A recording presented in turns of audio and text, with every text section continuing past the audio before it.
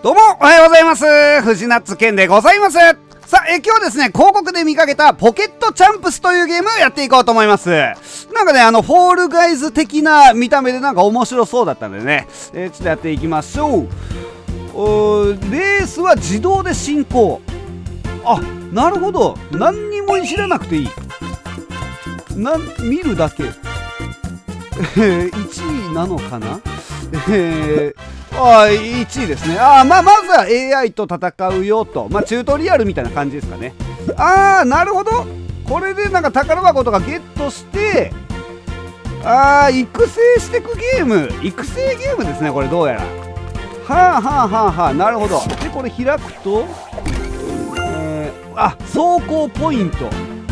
ああ、これで足がちょっと速くなったぞと。はあはあはあ、なるほど。ああ、で、これでなるほどレース2が始まるぞと。でこれはまあ見てるだけ。ちょっと足が速くなった分他より速いのかな。あーなるほど。あこういう感じね。なるほど、まあ、どんなゲームかなんとなく理解してきた。でこれクリアしてまた宝箱的なやつゲットして強くしてと。OKOKOK えー、あなるほど。でアイテムを何かしら装備できるんですけどさっきまで靴だったのが今水かきになりました。あーなるほど。水かきやるから速いぞと。あーはあはあはあだからそのステージによって何を装備させるかとあとは育成を、えー、何のパラメータに振るか、えー、まあ、その辺が大事になってくるのかなっていうような感じですかね。今のところ全部バランスよく2ですけどあチュートリアル終わったから3時間かかりますね。えー、強くするのに今3時間かかりますよという状態です。なのでまあとりあえず今の状態でどこまでいけるかですね。もうそれぐらいしかやることないですね。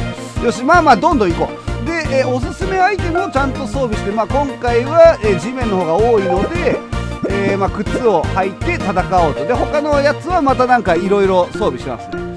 あこっからオンライン対戦っぽい。他の人が AI じゃなくなってるトレーナーじゃなくなってるけどまあまあまあなんとかなんとかなってますね。はいはいはい。あどんなゲームか分かりました。これでまああのかつ。あ登るもある。登るもあるけど全然いけてる。オッケー。あええやん。面白いやん。あでこれでランキング上げていくとどんどん強いやつが現れてくるぞってな感じですね。よしやれる限りどんどんやっていきます。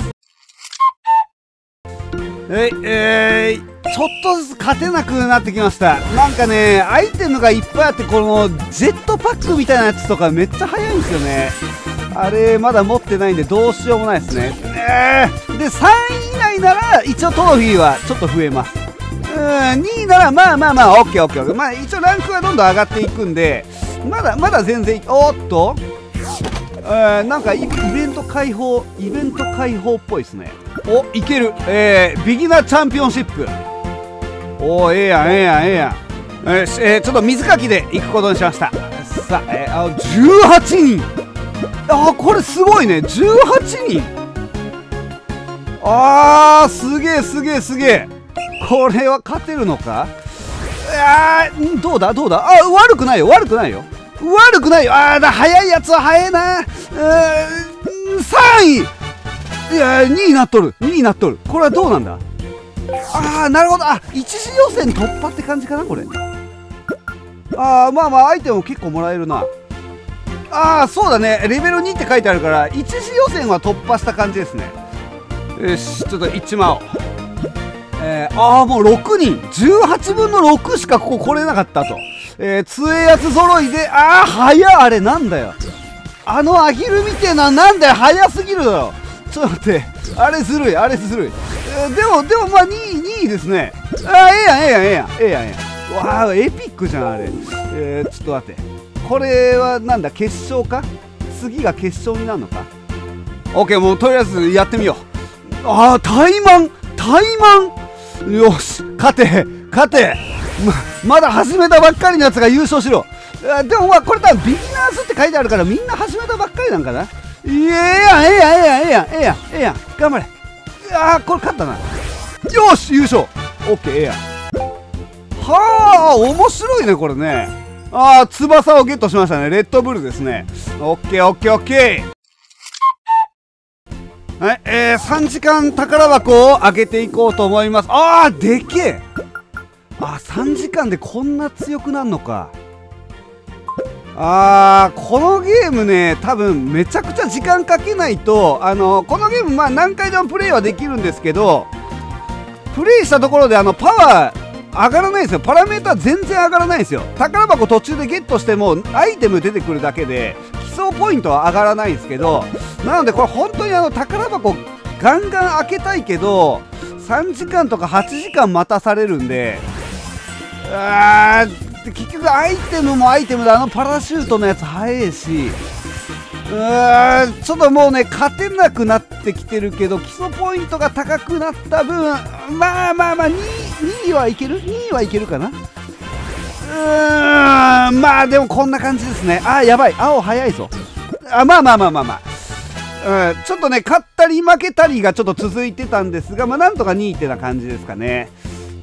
さあ、ここから20倍速でお届けします。えー、もうこのゲームとにかくその宝箱を開けないとパラメーターが上がらないんですが、えー、たまに宝箱を開けた時に広告を見ると追加報酬でパラメーターが上がるよというやつが出てくるんで、えー、そういった時にはもう容赦なく広告を見まくってですね、え、基礎ポイントも上げていきました。ただやっぱりどうしてもそのエピックとかレアとかのアイテムを持ってる人に対してはほぼほぼ勝てないんで、なかなかね、1位を取り続けるっていうのはなかなか大変でしたかね。えー、まあとにかく強くなるためにずっと頑張り続けました。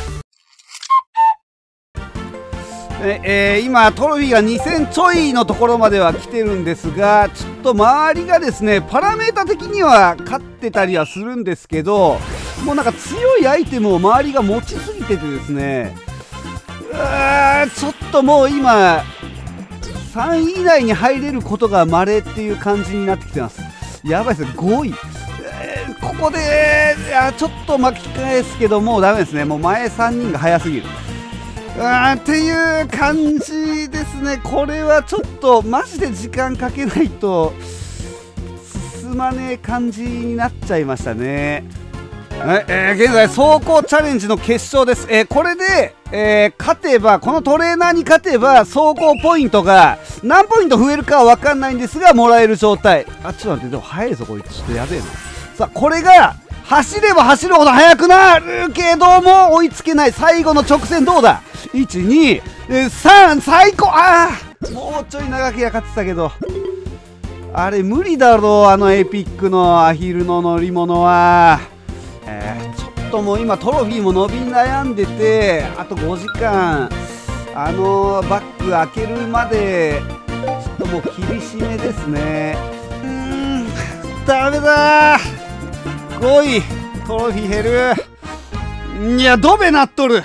えー、50減った。もうこれ無理だな。うんちょっといつもね僕はあの基本やり込んでめちゃくちゃ1日でガーってやるタイプの人間なんですけど僕には向かねえっすね。ああいけるか？これはいけるか？電池は速いからね。電池は速いからね。頼むよ。負けた50を取り戻せる。ああだからこここういうことだな。この平地ではやっぱこう電池を持ってるから勝てるけどこの上に行ったらこの水に関しては勝てねえからもうこれ以上もうこれ無理ですねこれ。あのこれもうマジで開けたいんですけど広告見てね一発で開くならいいんですけどあと5時間分だから10回広告見ないとこれ開けられないんですよね。なかなかそれでしかも5分の5って書いてあるから多分2時間半分しか行けないから素直に待つしかねえんですよね。ええー、紫開封していきます。どれぐらい上がるのか。5あー5いやまだいやすげえなこれ。あでさらに広告見たら走行ポイント5増えるわ。15増えますねこれで走り走り力が。うんこれも本当にちょっとバッグ開けまくらないとなんか異常なほど速くなったところを動画に収めないとこれは多分もう動画ができないから1ヶ月ぐらいミントダメだなこれは。うんちょっとやっぱ3000が遠いあおい。こ広告がやたら多いんです。これ機内モードでワンチャンいけねえかな。なんかあんまり戦ってる相手が人間臭くはないんだよね。あれ？ちょっと待って普通に動くぞまあまあ、レースはオンラインだから無理ってなる可能性あるけど、ちょっと待って、1個ひらめいたぞ。えー、っと、通常画面がこれで進むということは、えー、こういうことなんじゃねえかな。えー、ちょっと3時間後にしてみましょうか。えー、っと、これで、あーははは俺の2日間返せこれ、おいこれできるならお前もういくらでもいけるじゃねえかよ。さあ、ここからは15倍速でお届けします。えー、ここからやったことで言いますと、えー、とにかくレースを走って宝箱をゲットして、それを時を進めて開けて、えー、これをずーっと繰り返しました。今までゲロ強かった敵が、ゴミのようだっていうね、えー、そんぐらいの余裕で勝てるところまで、えー、行くことができました。えー、ちなみにこれ全部機内モードで走っておりますので、えー、まあ最高ですよね。機内モードでオンライン対戦が、えー、楽しめるゲームだということも分かりました。ええ、大体のパラメータが100を超えたところで、え、ちょっとね、えー、まあ、この辺りでどれぐらいの速さか、えそして他のキャラクターと比べてどんぐらい速いのか、えまあ、その辺ちょっと見ていただこうと思います。今ちょっといろいろアイテムはまゲットしているので、まあ、どれ選んでも正直勝てるんですけど、まあ、一番速いやつにしましょう。まあ多分ヨットが一番速いね、えあの短い、えプールに関してはヨットが相当速くなりますえー、つうことで、まあまあまあ、これ普通にやってたら多分1ヶ月以上プレイした速さです。えー、えー、まあ、こんな感じですね。もう後ろがもう全く見えない、えー、ぐらいの速さになりますね。えー、もう、もうここまで来たら、えー、面白さはないです。え、もうこんな感じです。ずっと、ずっと今これが、この作業が続いてます。えー、トロフィーが7000を超えたところなんですけれども、えー、もう正直負ける気がしないです、えー、僕のパワーが今700を超えてるんですけどボットたちが200ちょいなんです、えでボットたちもまあちょっとずつ強くはなってきているんですがそれ以上にこっちの方が成長するんでなんだろうね。これもう今何が楽しいの状態になっちゃってます、えー、なので普通にプレイした方が絶対に楽しめはするんですけど、えー、僕はあの速い速さをね、え、皆さんにお見せしたいというので今これやってますんであのちょっとやべえ事実を見つけてしまいちょっとやる気がなくなってしまいました。今7370のところまで来たんですが上見てまあ1万ぐらいが天井かなと思ってたらまだこのダイヤモンドっていうのがあってトップ7%がここまでいってるらしいです。でさらにもっと上行くとマスターっていうのがあっていやもう報酬ねえやねえかこれ。